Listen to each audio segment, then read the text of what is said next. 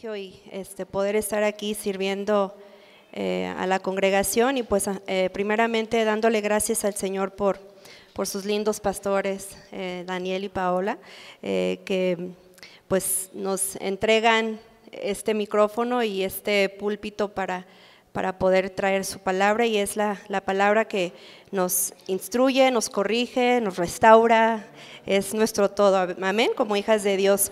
Eh, también pues me gustaría felicitar a cada una de ustedes que tomaron la mejor parte de su día, que es venir y escuchar la palabra del Señor, porque sabemos que eso es lo que nos, nos anima y nos ayuda, eh, nos confronta, eh, nos, nos dice cosas que no queremos escuchar, feas, a la carne, fea la carne, pero también otras cosas que, nos alienta y podemos descansar en el Señor. Me gustaría interactuar un poquito para, para romper un poco el hielo. Este, sé que eh, a veces estamos más acostumbrados a, escuchar eh, la voz de, de, sus pastores y cuando viene alguien más así como que a ver esta que trae o qué, de dónde viene o qué. Eh, pues soy hija de Dios, soy hermana de ustedes, así es que no, ya por eso podemos ahí conectar. cuando yo haga esta pregunta, quiero que digan yo. ¿Sí?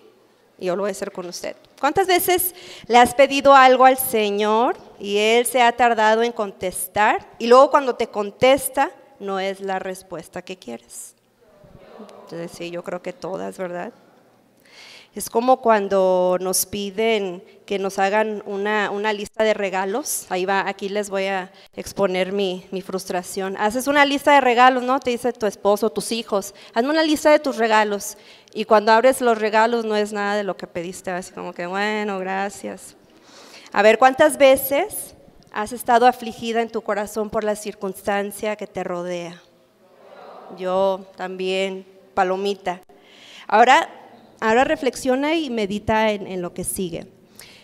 Si, respondiste yo, que creo que todas nosotras eh, eh, contestamos así, ¿cuál ha sido tu actitud?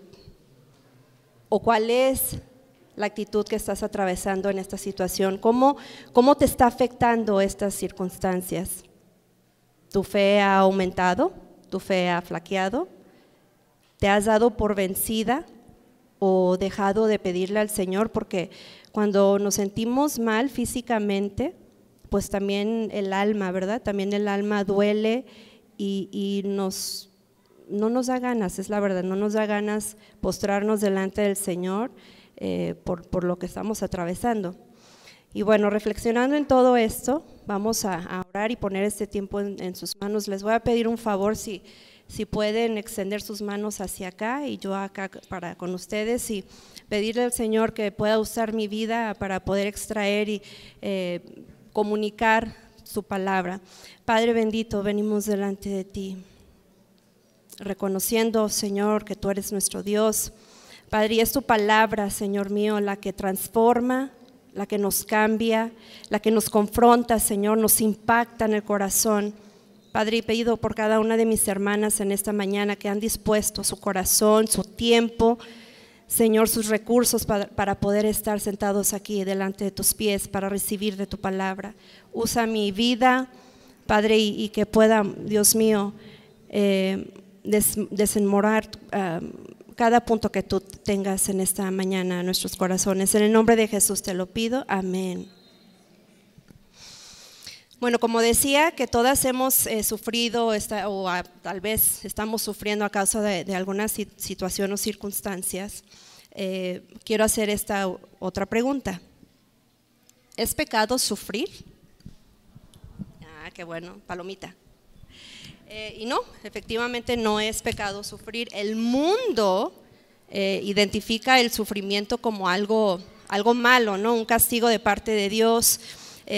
El mundo se niega a sufrir, se, niega a sufrir aquí en la tierra y, por eso luego a veces dicen, pues Dios es amor, ¿cómo, cómo que te está pasando? No, no, a veces nuestras mismas familiares en, la sangre que, luego nos desafían. Ay, ¿eres cristiano y estás sufriendo? ¿Sí o no?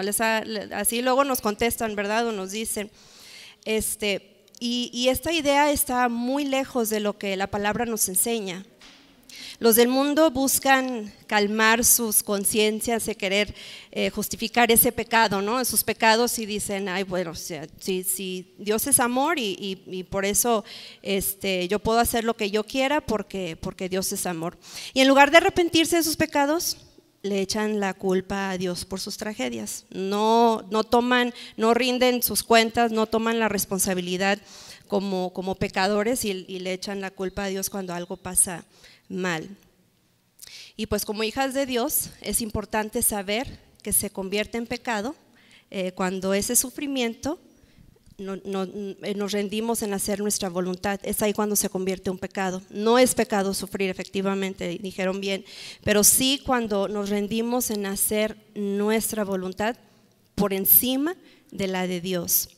Y cuando hacemos nuestra voluntad, nos convierte en personas egoístas que nos llevan a tener esas acciones humanistas, ¿sí? donde cuando hacemos nuestra voluntad nos, nos regimos en esas acciones que, nosotros pensamos, ¿no? porque a veces nos creemos más listas que Dios. Ay, bueno, es que yo creo, yo pienso, o si estoy en la montaña rusa, porque verdad que las mujeres pasamos, somos muy emocionales, a veces estamos arriba, a veces estamos abajo. Y cuando estamos arriba, este, sí, todo lo puedo en Cristo que me fortalece, pero cuando estamos abajo es así como que, bueno, yo creo, o sea, el Señor me dice esto, el Señor me dice que me rinda a Él, pero yo creo.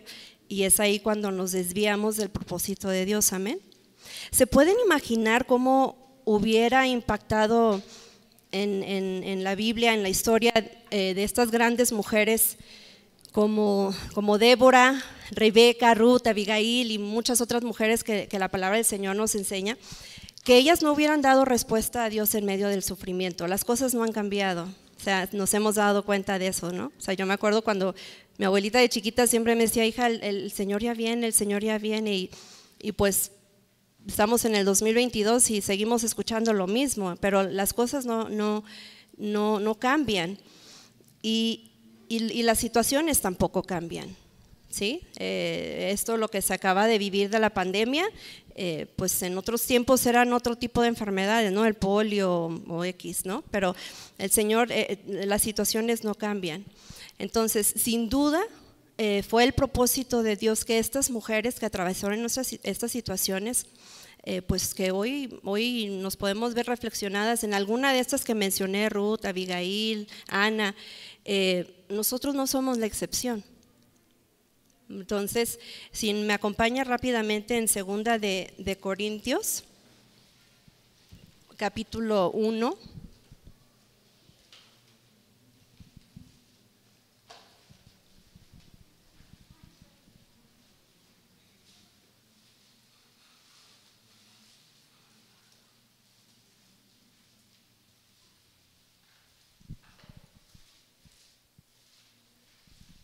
Y como no somos la, excepción en, las diversas situaciones que nos toca vivir, allí ahí dice, vamos a leer en el versículo 1 del 3 al 4, dice, alabado, y yo lo estoy leyendo en la nueva versión, alabado sea el Dios y Padre de nuestro Señor Jesucristo, Padre misericordioso y Dios de toda consolación.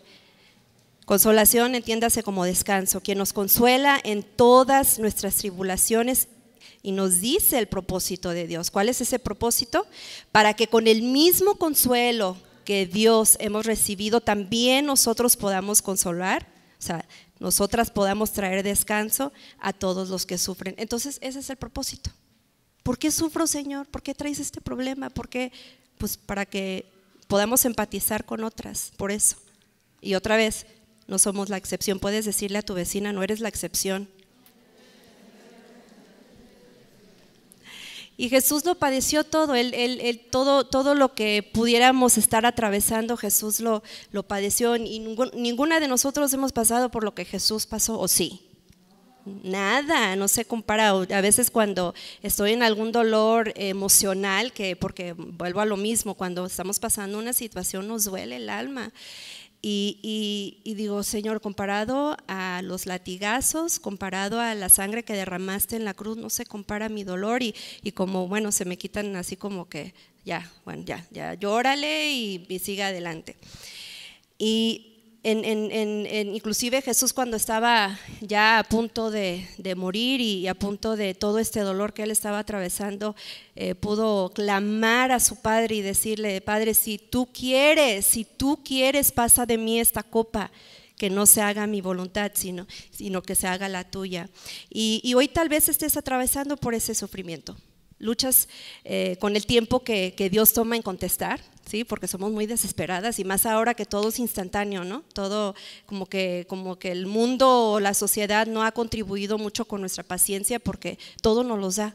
Eh, inclusive cuando estamos buscando algo en el teléfono y no aparece lo que tú buscas, estás como que, ay, o sea, te sales y te vuelves, o sea, porque estamos tan acostumbrados a, a que todo es instantáneo y luchamos con el tiempo. Eh, que él conteste. Y luego dentro de esa batalla, vienen un montón de cosas, la depresión, la tristeza, el temor. Y pues hoy eh, me quiero enfocar en, el caso de, la vida de Ana. No, no, no me voy a enfrascar mucho en, en, toda lo que, lo que, la enseñanza de Ana, pero sí me gustaría tocar algunos puntos de, la historia. Ya en su casa, si no, lo, no, no, se acuerda o quiere volverlo a repasar, pues ahí en, Primera de Samuel. Entonces, si gustan eh, ir al Antiguo Testamento en Primera de Samuel, ahí es donde empieza eh, algunos versículos donde voy a estar compartiendo. Y, y para aquellas que, que están anotando, el título de lo que voy a compartir es Ana con un corazón rendido. Primera de Samuel 1, que es ahí donde vamos a desarrollar ah, esta enseñanza. ¿Qué significa redención? Y, estoy segura que, que platicando con la pastora Paola me, hacía mención, porque cuando me, invitó, este, le dije, bueno, ¿tienes algún tema en especial o algo que, ya estás haciendo con las mujeres?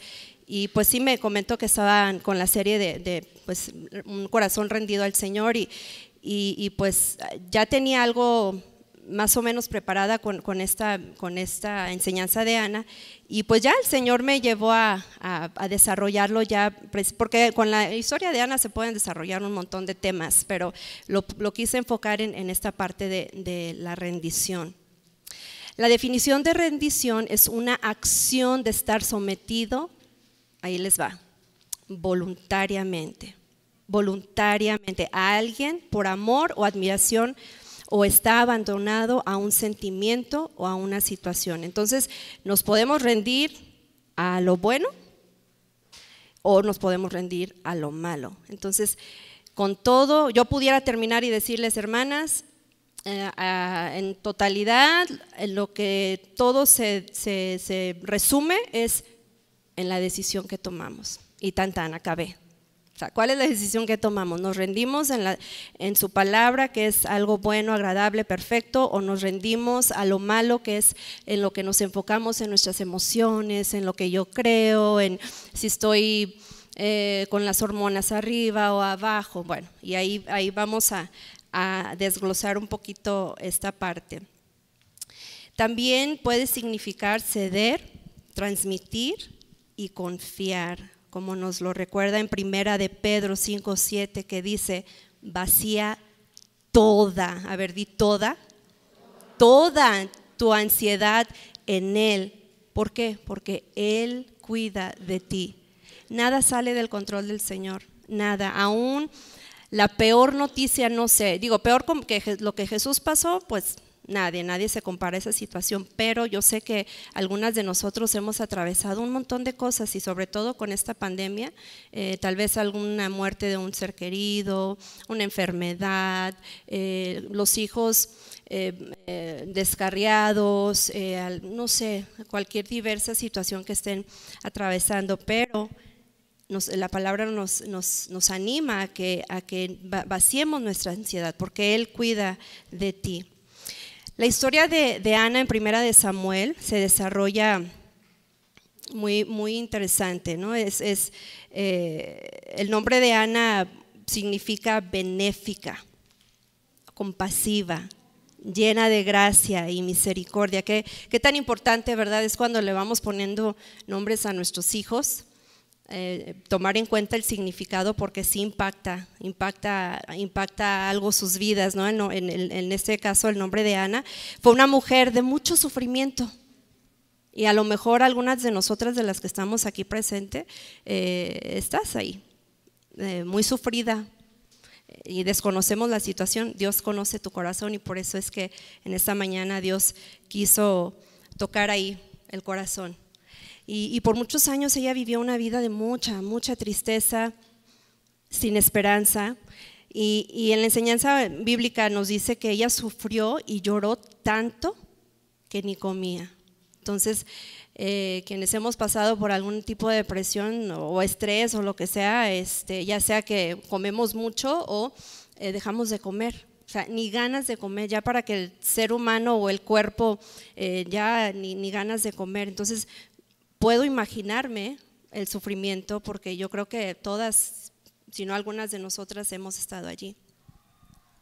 Entonces, yo me imagino también que, aparte de que ella lloraba y dejaba de comer también, pues habían otros efectos en su cuerpo, ¿no? Este, como se veía internamente, pues son cosas que no podemos ver, pero en lo externo sí demacrada, tal vez con más arrugas, con ojeras, eh, pues ahí la vejez va tomando su curso, ¿no? Cuando nos vamos secando, eh, cuando hay, uno se da cuenta cuando están enfermos, cuando estamos enfermos, ¿no? ¿Estás bien? O sea, luego, se notan en los ojitos, ¿no? Así como que te sientes bien.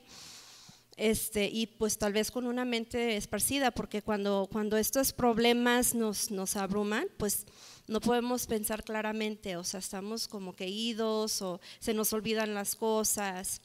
Y pues en esta mañana, eh, hermana, amiga, eh, esto te puede llevar al borde de, al borde de la depresión.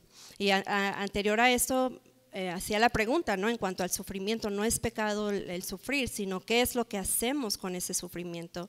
Y, y, pues a veces podemos llegar en esto, ¿no? Entrar en un círculo donde, donde difícilmente podemos salir si solo nos enfocamos en, lo que, en lo que no tenemos y no en quien nos da esa esperanza de clamar al Señor, ir a Él y descansar en su presencia que trae, ¿qué? Trae plenitud de gozo. Y ese es podernos rendir, rendir al Señor, es tomar una decisión de rendición a Él.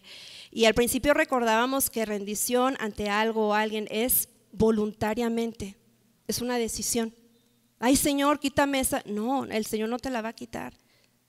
Tú tienes, o sea, ¿qué puedo hacer? Clamar, ¿qué puedo hacer? Orar, ¿qué puedo hacer? Cantar. Cuando, cuando el alma está abatida, como cantábamos en la mañana, eh, es clamar al Señor, cantarle con nuestro corazón, ¿verdad? Y nos rendimos a nuestro Padre. Y es es muy fácil confiar en Dios o cuando todo va bien y parece que todo obra a nuestro favor, todo no pasa nada, las aguas están calmaditas, pero ¿qué cuando Dios está en silencio?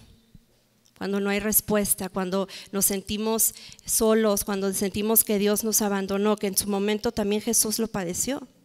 También, también él, se sintió solo eh, cuando estaba en la cruz. Y lo ideal sería seguir esperando en Dios, pero en realidad es que no siempre es así. A veces lo decimos nada más de, palabra. Pues yo confío en Dios, yo confío, pero no hacemos nada por salir de ahí. Y, pues en realidad hay cosas que ni nuestros esposos, ni nuestros mejores amigos, ni la comadre, ni la vecina, ni, ni la pastora, nadie, hay, hay, cosas en nuestras vidas que de plano no, nos pueden dar el consejo, pero al final del día, ¿quién toma esa decisión? Diga yo,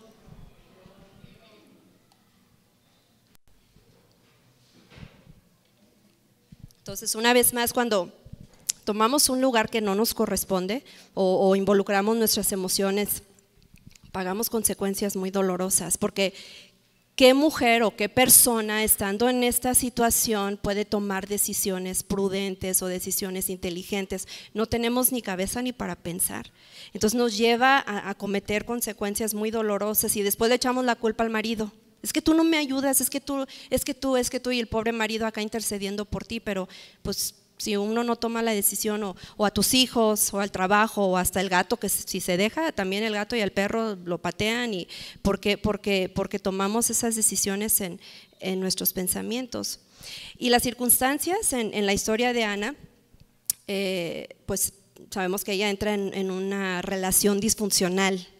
Eh, fue disfuncional porque, aunque era común que en los tiempos de, Moisés se practicaba la, poligamia, ¿sí? que tenían, podían tener muchos, muchas esposas, y pues eso nunca fue el diseño de, de Dios. Y a causa de esto, pues sí hubieron muchas consecuencias.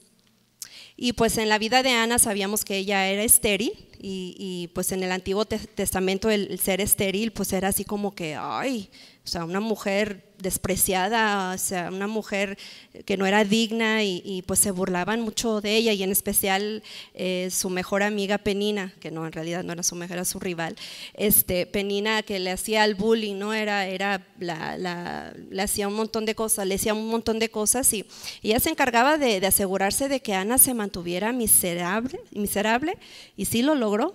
Sí lo logró. En este caso, pues Penina fue una persona, pero hay situaciones que también hay problemas, hay, hay noticias que nos dan y, que sí nos impactan y, y pues le, nos, hacemos caso más a eso que, que, a Dios. Y en, medio de estas consecuencias, Ana voluntariamente se rindió, se dio por vencida y tomó la decisión adorar a Jehová. Entonces, si me acompañan en, en el versículo 28 ahí mismo de 1 de Samuel 1.28, a ver, quiero que que lo leamos juntas, confirmando lo que ella hizo en, el versículo 28. ¿Listas? Yo pues lo dedico también a Jehová. Todos los días que viva será de Jehová y adoró allí a Jehová. Entonces, ella se sentía de esta manera, feo, mal, depresiva, eh, chillona, eh, todo, pero al final dijo, yo adoro a Jehová, me rindo, eh, espero en el Señor. Y las aflicciones deben de motivarnos a adorar a Jehová. Él las puso allí. Señor, ¿por qué? Pues porque tengo que trabajar en ti. Estoy, te estoy formando por eso. Entonces, eso nos debe motivar a adorar a Jehová. ¿Y por qué? Porque él te escogió aún dándote esta, este problema, aún dándote esta enfermedad, aún permitiendo que tus hijos se desvíen, aún y aún todo lo que estés atravesando. Él nos escogió. ¿Para qué? Pues para hacer esto, adorarle. Y nadie, diga nadie, nadie nos libramos de esas pruebas. ¿Le dan gracias a Dios por eso? Amén, porque en todo tiempo tenemos que darle gracias a Dios. Dios jamás prometió una vida sin desafíos. Entonces, quien le haya dicho eso es un mentiroso. Dios jamás, jamás prometió una vida sin desafíos o obstáculos. La vida de Ana nos enseña que eh, fue un ejemplo de, una mujer muy rendida y, y oración y esperanza en Dios a pesar de estas circunstancias. Entonces, si me acompaña rápidamente a Juan 16, 33, ahí póngale un separadorcito porque vamos a regresar ahí.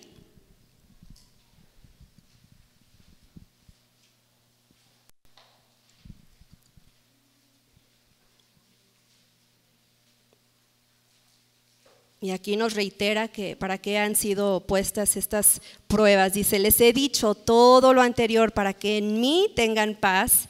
Aquí en el mundo tendrán muchas pruebas y tristezas, pero anímense, porque yo he vencido al mundo. Ahí no dice, yo te voy a animar. ¿Qué dice? Anímense. Otra vez, ¿quién toma esa decisión? Diga yo.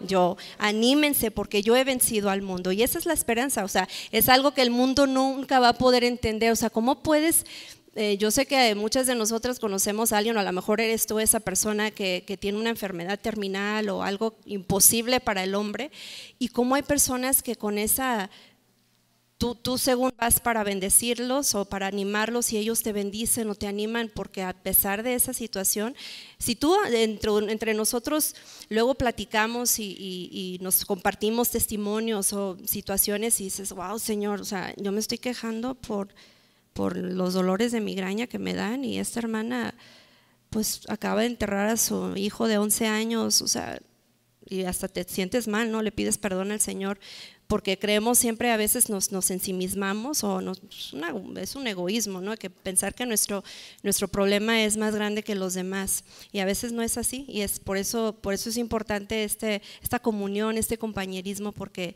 nos animamos unas a otros y como la, la palabra nos enseña ahora, anímense porque yo he vencido al mundo. Y pues dejemos ya de, luchar y de, buscar maneras de escapar de las adversidades. Eso es, eso es, lo que el Señor tiene para nosotros en esta mañana. Dejar de, dejar de buscar cómo escapar de eso. Así como lo hizo Jonás, ¿no? Él escapaba de, lo que el Señor le había pedido y, pues mejor vamos a, rendirnos al Señor. Ah, porque al final del día pues somos nosotros que, tomamos esa, esa, esa, decisión. Y pues quiero continuar compartiendo tres cosas que Ana eh, procede a hacer en su devoción a Dios, por, otra vez para las que anotan. Pero también esas cosas que, son prácticas para nosotras y no nos cuesta nada. Económicamente no nos cuesta nada, porque también luego a veces eso le echamos la culpa. Ay, es que si tuviera el dinero para hacer eso. Y ay, es que si tuviera, pues a lo mejor nunca lo vamos a tener.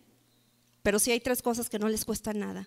Les, les nos cuesta rendirnos y nos cuesta tomar esa decisión que a veces eh, a la carne pues no le gusta, es la verdad. Número uno, ella confiaba en la soberanía de Dios. Confiaba, número uno. Todos, a ver, di todos. Todos los sucesos, todas las cosas que nos pasan, eventos de la vida de un creyente que están sujetas a la soberanía de Dios, Ah, son las que Dios usa para una vez más formarnos y, aún en esas cosas que, pues no, no, no, no, están tan bonitas, ¿no? Y en Romanos 8:28 yo creo que muchas de nosotras no, nos, nos, lo sabemos, que los que aman a Dios, todas las cosas ayudan para bien, todas las cosas, aún si tienes una penina en tu vida que está duro, que dale, duro, yo tengo una. les confieso. Todas tenemos una y dice, Señor, gracias, porque a veces sí en mi carne digo, Señor, ¿te la mando o te la mando o te la llevas? No, no es cierto. Pero, pero sí, eh, trabaja el Señor mucho conmigo, ¿no? En muchas áreas, pero eh, es, es damos gracias a Dios por eso. Y entonces, a veces, ¿por qué nos cuesta tanto entender esto? Y a veces pues también sabemos que, que todo sufrimiento pues va pasando por etapas. ¿sí? Y recordábamos al principio de, en cuanto al sufrimiento, no es pecado. O sea, Jesús también lloró. También podemos llorar, podemos clamar, gritarle, o sea, no gritarle al Señor, pero gritar de, de la desesperación eh, para liberar algunas de esas situaciones, pero eh, una vez más, el problema no es eh, es cuando, perdón, el problema es cuando nos enfrascamos tanto en el dolor que se, que se puede convertir en una amargura o a tal grado que terminamos con una, una actitud de autosuficiencia. O sea, ay Señor, ya te tardaste, no me gusta lo que estoy viendo, nada se mejora y mejor yo voy a tomar la decisión en mis manos y luego nos va como nos va. O sea, por un lado decimos que confiamos en Dios, pero por otro lado terminamos confiando en, algún amigo, porque a veces, bueno, Señor, yo sé que tu palabra dice eso, que debo, que esto, que debo de confiar, rendirme a ti, de, eh, dejar vaciar mis ansiedades a ti, pero voy a ir con mi amiga a ver qué piensa de esto. Y la amiga, si no es una persona madura, eh, pues te va a decir lo que ella también creo piensa. Y luego si usted no muchos chilaquiles, pues no creo que te vaya a dar una buena, un buen consejo. O vamos con algún consejero con la, o, peor, en nosotras mismas, cuando estamos mal, cuando estamos con los fusibles bajos, eh, no, no, no, no confiemos en nuestra prudencia, no confiemos en nuestros pensamientos. Dile a tu vecina, aguas con eso.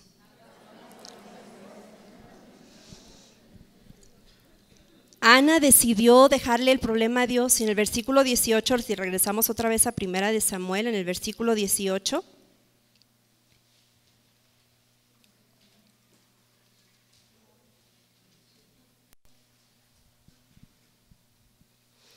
En la nueva traducción viviente dice, o 1, perdón, versículo 18, es en el capítulo 1 de Primera de Samuel, 1, 18. Dice, oh, muchas gracias, ella exclamó. Así que se fue, comenzó a comer de nuevo y ya no estuvo triste. Mira qué tan fácil. Muchas gracias, todo, gracias Señor. Se fue, comenzó a comer y ya no estuvo triste. ¿Verdad que no es complicado? Las consecuencias a no rendirnos nos lleva a dejar de depender de Dios. Esa es la verdad. Y, y, a veces la noticia que te hayan dado o el problema que estás atravesando, quisiera poder decirte, va a mejorar, va a mejorar, va a mejorar, pero eso no es, sería mentir, ¿no? Y es muy fácil justificar el motivo de no seguir a Cristo, así como lo tuvo Ana en su momento. En su momento también eh, tuvo actitudes en, sus manos. Y, estas justificaciones o a veces excusas no nos permiten crecer, crecer en la fe y, decidimos enfrascar eh, nuestra aflicción en las circunstancias. Y todo es mis experiencias, todo es lo que estoy pasando. Por eso soy así, por eso reacciono así, por eso este, aguántenme porque esto, o sea, tratamos de justificar y nos excusamos en eso. Pero el deber que se nos impone es hacer de Jehová nuestra confianza, de su favor el bien que esperamos, o sea, es aceptar su voluntad, de su poder, la fuerza en que esperamos, es decir, no apoyarnos en nuestra fuerza. En Jeremías 17, 7 al 8 nos dice, Bendito el hombre que confía en el Señor y pone su confianza en Él. Será como un árbol plantado junto al agua, que extiende sus raíces hacia la corriente. No teme que llegue el calor y sus hojas siempre están verdes. En época de sequía no se angustia y nunca deja de dar fruto. Pero podemos ver todo esto cuando confiamos en Jehová. Es simple, es simple confiar. Así como ahorita están confiando en que esa silla las está deteniendo, ¿sí? Y ahí descargamos todas nuestras libras y es lo mismo, confiar en Dios. Señor, yo ya no puedo, te lo entrego. El árbol no deja de dar fruto porque sus raíces están bien plantadas en Cristo. Tenemos que plantarnos en el Señor. Em, no le afecta ni el calor ni, ni la sequía. Un comentarista bíblico lo explicó de la siguiente manera. Quienes hacen de Dios su esperanza viven cómodos, pues disfrutan de continua seguridad y de perfecta serenidad mental. Qué hermoso. Ahí les va otra vez para las que apuntan. Quienes hacen de Dios su esperanza viven cómodos. ¿Qué es eso? Ay, qué rico, ¿no? Ahí vivo tan cómodo. Estoy a gusto pues disfrutan de continua seguridad y de perfecta, porque Él todo lo hace perfecto, perfecta serenidad mental. ¿Qué ocupa tu mente? Las deudas, los hijos, el trabajo, no tengo, yo quiero. Entonces, mejor confiemos en la esperanza de Dios para tener esa serenidad mental perfecta. Devoción número dos que tuvo Ana. Aprendió cómo llevar sus problemas al Señor.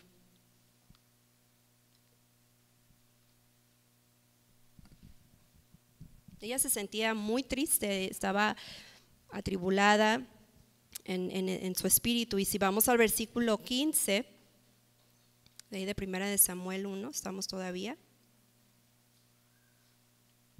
Decía, y, y, Ana le respondió diciendo, no, Señor mío, yo soy una mujer atribulada de espíritu, no he bebido ni sidra, sino que he derramado mi alma delante de Jehová. O sea, aquí porque el, el, Elí pensaba que estaba borracha, pero en realidad ella estaba eh, atribulada, estaba, estaba gimiendo, estaba dolorida en su corazón, porque aparte de compartir su esposo con, con el Anca, que yo, eh, yo creo, el Cana, perdón, el Cana, que yo creo que ninguna de nosotras estamos compartiendo nuestro marido, bueno, eso espero, pero este pues qué feo, ¿no? Porque a veces sí nos molestamos, inclusive cuando nuestros maridos de repente ven a otra mujer así como que, oye, o sea, ¿verdad? A mí, la verdad. Eso fue antes de Cristo. Este, pero sí, o sea, imagínate ella tener que compartir a, su esposo y, pues no con todo y eso, pues una vergüenza por ser estéril. Y, en lugar de, que ella pudiera salir, de, ella pudiera salir una queja cuando ella se derramó delante del Señor, eh, ella se fue al, templo. Fue la decisión que ella tomó. estoy pasando esta situación, voy al templo y tomó la decisión de, de ir allí y, no con la vecina ni la comadre, y en voz baja, ella estaba clamando al Señor porque ella sabía que pues, era una comunión directa con Dios, porque luego a veces también cometemos esto, y que todo el mundo, ¿qué tienes? No, es que sí o no. Luego así como que lo mismo, nos ensimismamos y creemos que nada más nosotros estamos pasando por esa situación y, y queremos toda la atención, que, que todo, y, y ya lloraste, hiciste berrinche y ahí sigue el problema. Nada, nada cambió. Pero ya, ya me desahogué luego así decimos.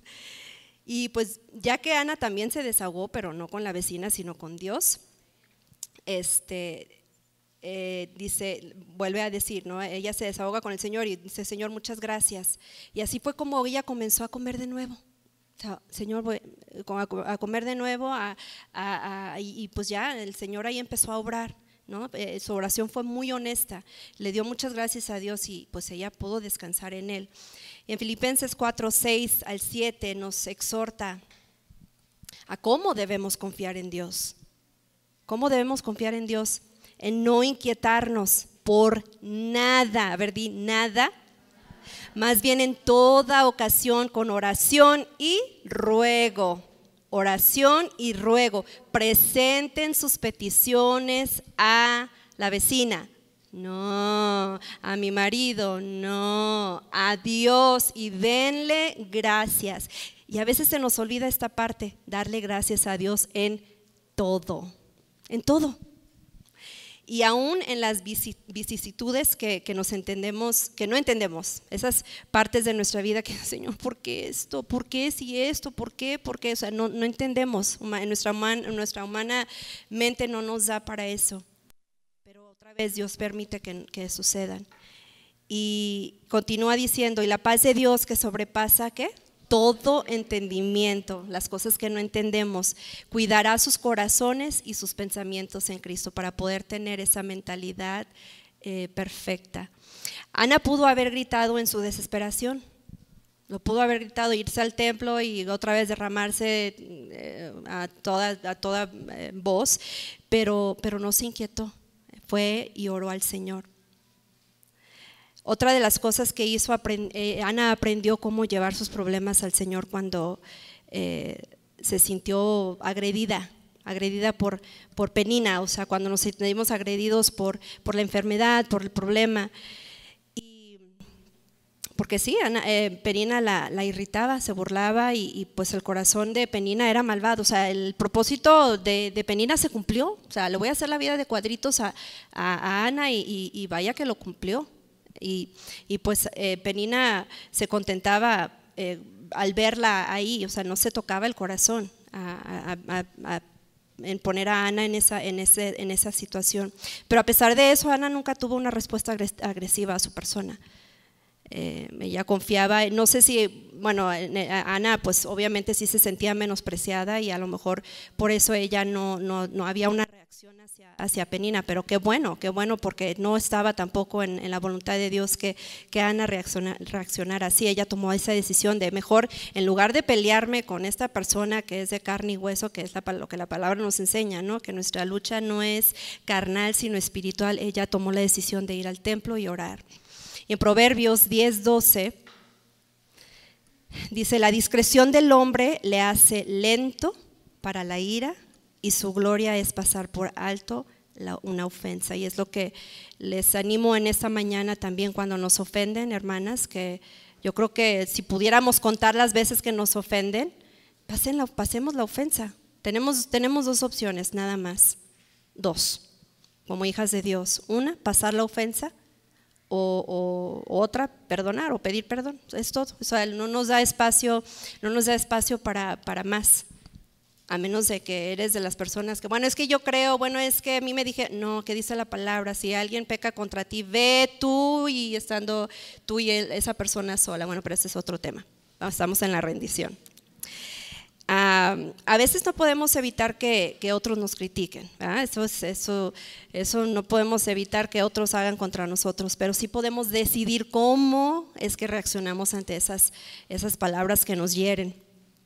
Y la devoción número tres que Ana obtuvo fue eh, como resultado en medio de, esta prueba que hizo un voto. O sea, después de que ella... Eh, confió, aprendió a llevar sus problemas a Dios, hizo un voto al Señor, porque también eso a veces hacemos, hola, luego decimos, Señor, yo te prometo que si me haces esto, me cumples esto, yo te prometo, y cuando el Señor cumple, bueno, gracias, pero ahí nos vamos y nos apartamos o hacemos otras cosas, no, hay que, hay que, hay que cumplir también con el Señor, Él nos bendice, amén. Y aun cuando nosotros le fallamos, Él nos bendice y a veces tomamos eso como nos aprovechamos de su, de su nobleza, pero por eso es un Dios grande. Ana hizo este voto con Dios en el versículo 11 de Primera de Samuel, 1.11. Dice, e hizo voto diciendo, Jehová de los ejércitos, si te dignares mirar de tu sierva y te, acordar, y te acordares de mí y no te olvidares de tu sierva, sino que dieres a tu sierva un hijo varón, yo lo dedicaré a Jehová a todos los días de su, de su vida y no pasará navaja sobre su cabeza. Entonces ella anhelaba tanto este hijo, fíjense, anheló tanto eso que él dijo, si tú me lo das, yo te lo voy a dedicar.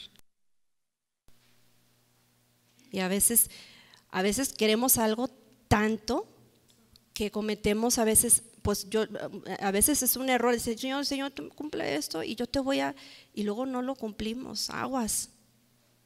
Porque sí, el Señor es bondadoso y misericordioso, pero también nos, nos disciplina, ¿verdad?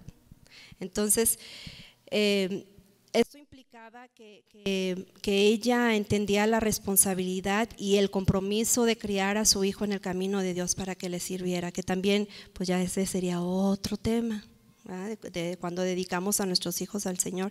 Y muchas veces como mujeres nos atenemos o no confiamos en, en que la responsabilidad completa eh, a veces se lo queremos eh, enjaretar al, marido, que eh, indiscutiblemente sí, el diseño de Dios es que nuestros maridos pues sí tomen ese, ese lugar, pero cuando no, cuando a un cristiano, a veces el, a esposo él es cristiano, él tiene que ser la cabeza, la, la, la, pero cuando, cuando no es así que el hombre toma esa iniciativa de ser el sacerdote de su casa, pues nos toca a nosotros mujeres así como lo tuvo Timoteo, ¿no? Con Eloida y Eunice. Y aunque el orden bíblico, una vez más, fue diseñado para que el hombre fuera la cabeza del hogar, ah, no, no, nos excluye de la responsabilidad también, porque nosotros también le vamos a dar cuentas a Dios. En medio de esta prueba, también tuvo gozo porque su oración fue respondida. Bueno, en el caso de, Ana, el Señor respondió, tal vez no en el momento, tal vez no en la situación, pero al final Él, respondió. Entonces, cuando, cuando muchas veces no es lo que pedimos, y la palabra nos enseña en, eh, que eh, cuando a veces pedimos, pedimos mal. Y un pastor decía, ¿para qué pides casarte? Si cuando te casas le das más prioridad a tu pareja, o sea, porque a veces pedimos cosas y cuando Dios la concede, nos deleitamos más en eso en, eso y, dejamos a un lado al Señor. Y en Santiago 4, del 2 al 3, nos dice, ¿cómo es que debemos de pedir? Desean lo que no tienen. ¿Sí? Porque somos bien pediches. ¿Cuántas somos pedidos? Sí. Quiero, quiero, quiero. no me dejen solas. Desean lo que no tienen.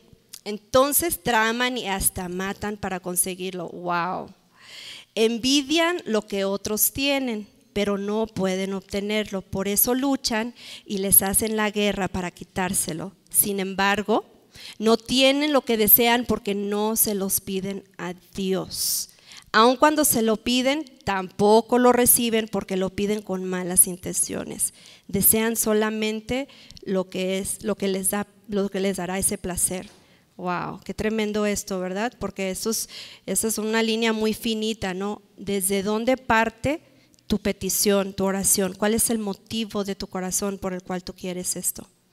Y el motivo, vemos que en la historia de Ana, el motivo de, su corazón de tener a este hijo, yo creo que ya no se enfocaba tanto en que si Penina le, decía o no le decía, ella anhelaba un hijo, pero ¿qué hizo con ese hijo? Se lo dedicó al Señor y lo cumplió. Y por agradecimiento, Ana cumple esta promesa de dedicar su bebé a, a, para servir a Dios, que fue pues, Samuel. Y, y, bien pudo haberse retractado de lo que prometió, que así como lo mencionaba anteriormente, que es a veces lo que hacemos. Y no podemos olvidarnos de sus beneficios y de sus bondades. Eso, eh, cuando no, hacemos esas cosas, hermanas, nos hace personas malagradecidas. Y aún así el Señor nos muestra su misericordia. Y pues les animo a pues no poner nuestra mirada en, en, en, las cosas que nuestros ojos no podemos ver, ¿verdad? Porque él, él, él, ya, él ya conoce nuestro futuro. Lo que nos resta a nosotros es confiar y dejar que Él sea ese vehículo que nos lleve a, a sus promesas. Y a lo mejor aquí en la tierra no, no, no veamos eso, pero en la, en la, eternidad sí. Y esa es el, la esperanza que, que tenemos. Y, eh, Tal vez en esta mañana te encuentras todavía esperando ese milagro del Señor. Tal vez la salvación de un ser querido, la salvación de tus hijos, tal vez alguna sanidad física, eh, tal vez un, un, una deuda que, que, no te deja dormir, no, no deja de descansar, pero Dios tiene el poder para obrar. ¿Tú lo crees? Amén. Y en, porque Él nos vuelve a reiterar que en medio de la aflicción, Él obra su perfecta voluntad. Eh, y pues ya por último, eh, tomemos el ejemplo del, apóstol Pablo en 2 de Corintios 1, 3 al 11. Dice, toda la alabanza sea para Dios, el Padre de nuestro Señor Jesucristo. Dios es nuestro Padre misericordioso y la fuente de todo consuelo. Él nos consuela en todas nuestras dificultades para que nosotros podamos consolar a otros. Y en el versículo 7 dice, tenemos la plena confianza de que al participar ustedes de nuestros sufrimientos también tendrán parte del consuelo que Dios nos da. Así como nosotros podemos consolar a, consolar a otras, también podemos recibir el consuelo a través de otras hermanas o a través del mismo Dios. Y sé que muchas de nosotras estamos pasando por, por diversas pruebas, eh, tal vez no de esterilidad, tal vez sí, pero, pero sí esa decepción de nuevo nos puede desanimar eh, en esa salud, eh, nos puede afectar, pero en esta mañana eh, o tarde ya creo, eh, te invito a que pues abras tu corazón, abras tu corazón y, y derramarlo delante del Señor y tomar esta decisión que tom tomó Ana. La decisión de, de, rendirse, de ir al templo, de orar al Señor, derramarse delante de Dios, porque Él conoce nuestro corazón. En lo externo a veces somos un poquito más superficiales eh, porque qué dirán, porque, ay, es que ya tengo 40 mil años de cristiana y todavía me siento así, hermanas. Eh, el Señor también ha, ha, puesto sus líderes, sus pastores, eh, otros hermanos en Cristo. Debemos de, de, poder externar y ser un poquito más transparentes para, para evitar esto, evitar, evitar eh, que, que, nos enfrasquemos en esta depresión, en la ansiedad. Eh, que sí, yo, yo creo que médicamente sí pueden haber, sí puede pasar esa situación, pero si estamos en un punto donde ya no podemos salir de, de ahí, pues usemos los recursos gratis solo una decisión. Vamos a poner este tiempo en sus manos. Señor bendito, te damos muchas gracias por tu palabra. Señor, cuando preparaba esto, tú me recordabas lo hermoso que tú eres y que todo nuestro, todo nuestro caminar es a base de decisiones. Señor, perdóname porque a veces las he tomado en mi carne, las he tomado en lo que yo creo que en ese momento es mejor y tropiezo, Padre. Perdóname por no confiar en ti a veces, pero en esta mañana me comprometo, dile al Señor, me comprometo en dejar mis cargas, Señor, porque estamos cansadas, fatigadas, Señor, pero sabemos que tú nos alientas, nos fortaleces, porque tú eres mi amparo, mi fortaleza y mi auxilio en las tribulaciones. Amén. Pueden darle un aplauso al Señor. Gracias, Dios.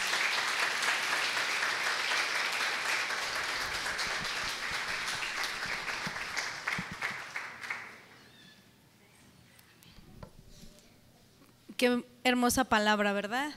La palabra de Dios siempre eh, tiene esa parte que nos confronta, pero también siempre viene una palabra de consuelo y de esperanza. Así que yo no sé cuál sea la petición que tú tienes, confía que el Señor va a responder. Y Él va a responder eh, no a nuestra manera, sino a su manera. Y la forma en que Él responda va a ser lo mejor para nosotros. Y que cuando nos responda, que se, tengamos ese corazón de Ana, ¿verdad? Ah, Señor, yo rogaba por la sanidad de mi cuerpo, pero ya me sanaste, ahora ya no voy a la iglesia, porque me siento también que ya no tengo tiempo para orar, ya no tengo tiempo para buscar tu rostro en la palabra, en la comunión con los hermanos en la iglesia, porque estoy muy bien. Oh Señor, es que ya me diste el bebé que te pedí durante tantos años y estoy tan feliz que no quiero ni moverme de la casa, porque no vaya a ser que lo pierda. ¿No? Y estoy eh, ya nada más viendo que lo que yo pedí el Señor me lo dio, pero tengamos cuidado porque Dios no, su gloria Él no la comparte con nadie. Y si Él ve que nuestro corazón se inclina a la petición que nos dio, qué triste, ¿verdad? Que Él tenga que volver a tratar con nosotros, a decir, a ver, te voy a tener que tumbar ahora el ídolo. Entonces, que el Señor nos ayude. La palabra ya se dio, ya no hay más que dar. Y damos gracias por la vida de Mirella, ¿verdad? Gracias, Mirella. Gracias.